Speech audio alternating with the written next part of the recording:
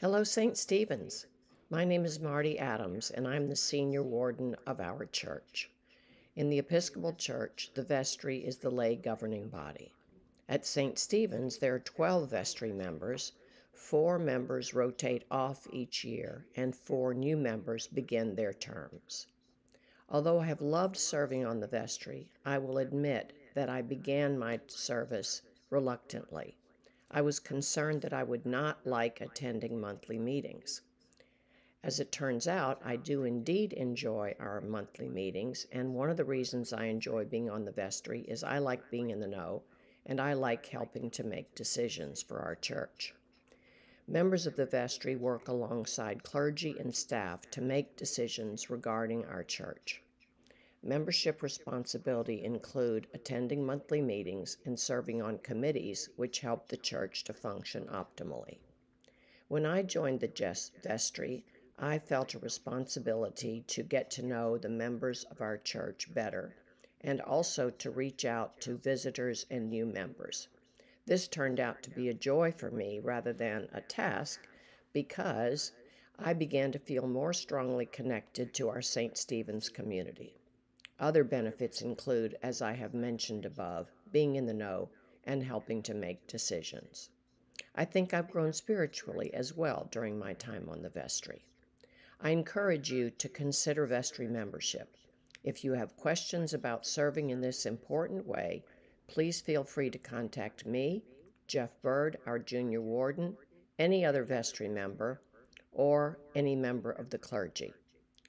Thank you for taking time to listen, and I look forward to seeing you at church. Bye bye. Hello, St. Stephen's. My name is Jeff Bird, and I am currently junior warden for the vestry. I am in year two of a three year term. The primary responsibilities of the junior warden are the buildings and grounds. Due to construction projects currently underway at the church, the Building and Grounds Committee will be primarily operating within the Construction Committee over the next year.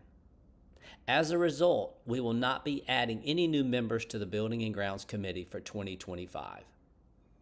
However, if you are one of those people that feel like the Building and Grounds Committee would be a great fit for you in the future, please reach out to me with any questions and I will do my best to answer them. Like Marty, I too have enjoyed my time on the vestry. I particularly enjoy dealing with all the various issues that come up at the church on a regular basis. Thanks for listening. Hello, my name is John Hodgson, and on behalf of my fellow committee members, uh, consisting of Marty Adams, David uh, Trecklenberg, and Julie Hussey, I would like to take a few minutes to share a bit with you about the Adult Faith Formation Ministry.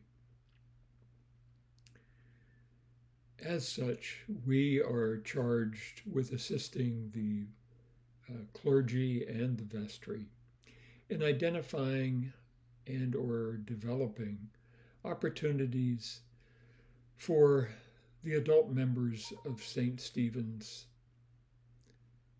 to deepen their relationship with this mystery we call God through programs, speakers, and events there is a saying, uh, you know, in the catechesis community that Jesus welcomed the children and taught the adults. And that in our Christian world, we have managed to do just the opposite welcome the adults and teach the children. Uh, we at St. Stephen's believe that adult formation is a lifelong commitment and our charge reflects that. So, in the process of adult faith formation, we build around three basic pillars. The first is that we grow in faith by listening to each other's faith experiences. Second, that no matter how good the quote presentation might be, unless there is an opportunity for each of us to ask, how does this relate to me in my own life? What does this call to me? In other words, how are we called to change or be aware in this experience? Unless that happens, we are just taking in information. Good adult formation allows us to be touched both in our heads and our hearts, to invite us to ongoing conversion. And finally, we want to create an environment where adults can articulate what they believe and make the connection between that belief and how they live their lives. Our committee uh, meets most frequently from late spring into the summer to develop these recommendations for faith formation programs for the upcoming year. We then can assist as requested in coordinating speakers uh, and facilitators for these programs and help with logistics uh, in planning these events. So, if this sounds like something of interest to you, whether it's in the planning, facilitating a program, or coordinating the event, um, please reach out to either myself or Amanda, and we will be back in touch. Thank you. We hope by now you've seen our beautiful needle pointed kneelers that grace our church.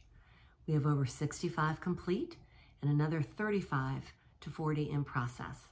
We are still looking to do a few more. We always welcome needle pointers of all abilities to join us, and we are happy to help you start a kneeler, complete a kneeler, or just learn how to needlepoint. We meet the second Tuesday of every month from 3 to 6 p.m. in the parlor at St. James Church on James Island. We meet the fourth Wednesday of every month from 3 to 6 p.m. at my home, downtown Charleston, 10 South Adgers Wharf. We are also looking if there's any talented woodworkers out there who might be able to help us create a few more kneelers because we need a few replaced and we'd like to have a few extra on hand. If you're interested in any of these, please contact me and I'll be happy to get you involved. It's a beautiful ministry and one we all feel very, very blessed to do. In addition, we will be dedicating our kneelers, the ones we have now, at the 11 o'clock service on Sunday, October 27th. And we would love for you to be there as well. Thank you so much. Good day. My name is John Hodgson, and I would like to take a few minutes to talk to you about the ministry of spiritual direction. Uh, first, a little bit about me. I am and have been a spiritual director for about 20 years now. My training was a part of a five year program with emphasis on Ignatian spirituality. In addition to journeying with others in spiritual direction, uh, I also supervise other directors and am trained in giving the Ignatian exercises. Well, perhaps I should begin by telling you uh, how I describe spiritual direction. Because God is present and active in every moment of our lives, spiritual direction is the journeying with another as they seek to deepen their awareness of and relish in the experience of God in their lives and choose how to respond. I personally prefer the word journaling, I'm sorry, journeying, as opposed to direction, uh, because our role of directors is not to tell our directees what to do. Rather, we are trained to help others see God's movement in their lives and through that deepening awareness, fall more in love with this mystery we call God. Meetings typically occur monthly, and we meet either in person or uh, by Zoom. Uh, our in person meetings currently are happening at St. James um, because of the construction going on. In those meetings, we may, yes, talk about prayer and types of prayer.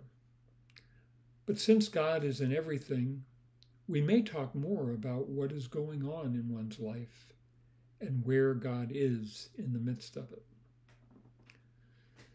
Meister Eckhart once said, God is at home. It is we that are out for a walk. I like that expression.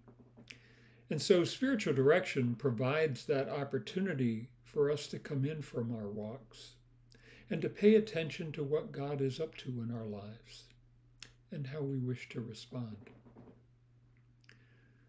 I think another important aspect of spiritual direction is that it's both non judgmental and confidential. The director is bound by confidentiality. You, of course, can discuss anything you want with anyone about any session. So, if this is something you might wish to explore, I would be happy to sit down with you and discuss spiritual direction further. Thank you and have a blessed day.